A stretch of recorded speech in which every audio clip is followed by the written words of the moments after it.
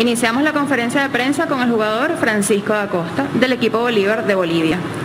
La primera pregunta la hace el periodista Alfonso Garrido de la pizarra del hincha. Francisco, ¿qué mérito le das a la victoria de esta noche donde remontaron el marcador en dos ocasiones? Se, se escucha un poco mal, no sé cómo poder... Te la repito. ¿Qué mérito le das a la victoria de esta noche donde remontaron el marcador en dos ocasiones? No, nada, como yo dije en la cancha, eh, creo que fue clave seguir haciendo lo nuestro, ¿no?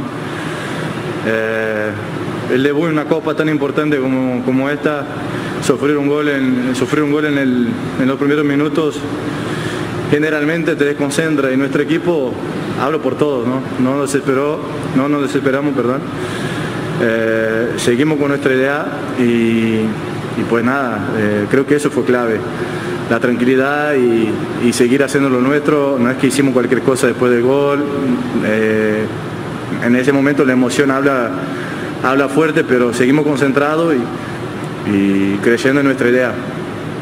Ya que hablas del equipo, eh, ¿cómo está el grupo tras este triunfo que lo acerca a la siguiente fase? El grupo está contento por lo que hizo. Eh, igual sabemos que eso solo empieza, ¿no?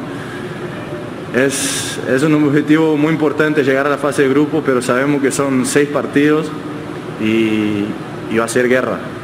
Todo, cada partido va a ser una guerra, eso solo empieza, faltan cinco más.